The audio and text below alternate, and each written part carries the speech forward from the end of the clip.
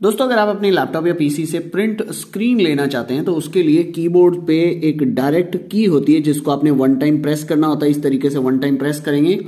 और उसके बाद में आप उस फ़ाइल को कंट्रोल वी यानी कि पेस्ट करेंगे कंट्रोल प्लस वी दोनों की को दबाएँगे तो आपकी ये जो प्रिंट स्क्रीन है, वो इस तरीके से पेस्ट हो जाएगी।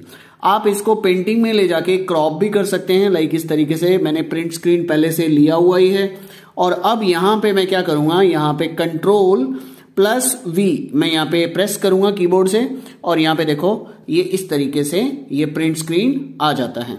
और अगर आप इसको वर्ड की फ़ाइल में लेके जाना चाहते हैं, तब भी आप यहाँ पे कंट्रोल प्लस वी आप यहाँ पे प्रेस करेंगे कीबोर्ड से। कंट्रोल के साथ में आपने वी को प्रेस करना इस तरीके से।